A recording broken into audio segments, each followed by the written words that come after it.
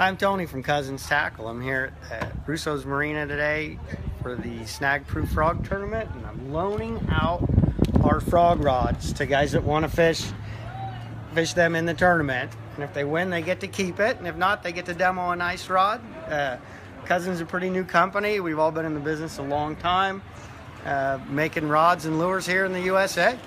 Come by and get a rod and demo it out. Sounds really cool. Well,